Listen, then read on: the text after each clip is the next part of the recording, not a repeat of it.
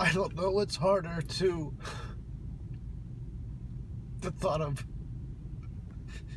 killing yourself to end this suffering. The, the worry that the people that, that they're suffering because of you are gonna leave you.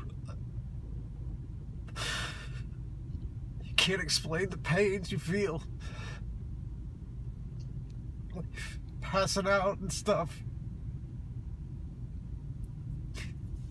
It's too much for anybody to go through.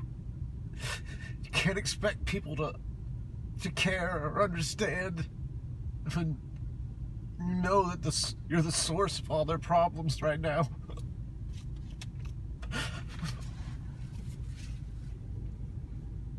I just don't believe that I could beat this.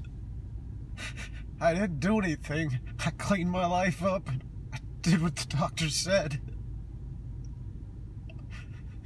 And I've.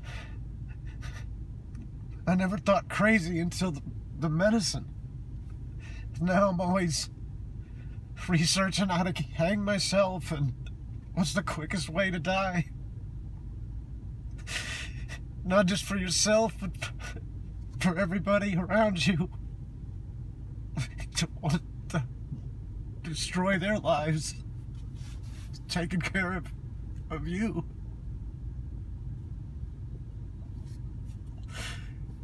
It just seems like there'll never be an answer. It's not just emotional, it's physical. There's so many things happening every minute of every day you think you're getting better and you go shoot some basketball for a couple of days and next thing you know you're passing out and having chest pains and it doesn't make sense. It scares you to do anything. You don't want to get out of bed and then all of a sudden you're just like can i even live a life like this? And then there's people around you you're always sweating. This is just insane.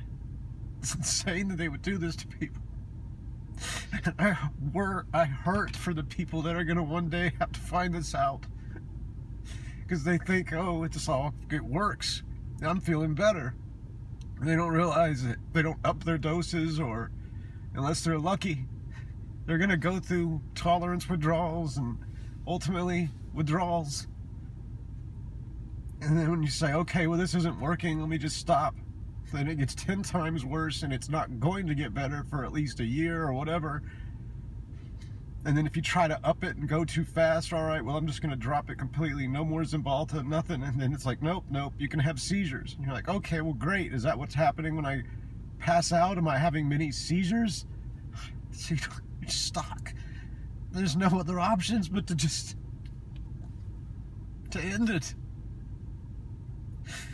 You, you, people get mad. They don't mean to, but I tell you, this the situation or whatever is driving them crazy. You don't want to do that to anybody. If you really love them, you care. And you look at all the people you've lost and how many of them were because of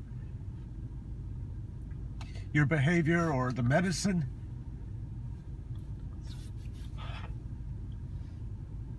That's all. I don't have anything else. Just another day. Six and a half, seven months out. That's it.